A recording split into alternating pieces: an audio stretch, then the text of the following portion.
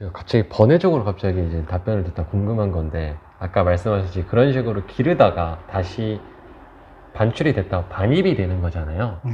그런 경우에는 이제 어떻게 되는 거예요? 그게? 이제 조심스럽게 말씀을 드리는데, 이제 그 쉽게 말해서 진도군의 진돗개하고 네. 진도군 외의 진돗개의 가장 큰 차이는 법적 지위에 있습니다. 네.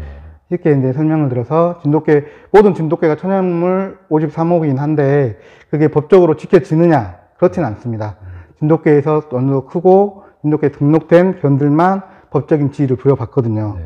그렇기 때문에 이제 판출해서 온 개는 진돗개이긴 하지만 천연 기념물로서 보호를 받지는 못해요. 음. 그래서 이제 중성화를 시켜서 일반으로 이제 사용할 수밖에 없죠. 어제 그 정상 뭐 아까 말씀했던 음. 뭐 칩이 박혀 있고 등록이 돼 있고 반출증이 이- 있는데 그 반출증이 있어도 다시 반입되면은 보호를 못 받고 그렇죠. 그냥 중성화 시키고 중성화를 일반적으로. 이제 아. 키우실 수밖에 없죠. 음, 그렇게 되는 거구나. 네. 저도 많이 그 부분은 많이 궁금했거든요. 네. 많이들 궁금해 하세요. 왜 천연 기념물이긴 한데, 이 진돗개가 천연 기념물이 한데, 이 개를 함부로 이렇게 뭐랄까, 이렇게 학대를 해도 되느냐. 음.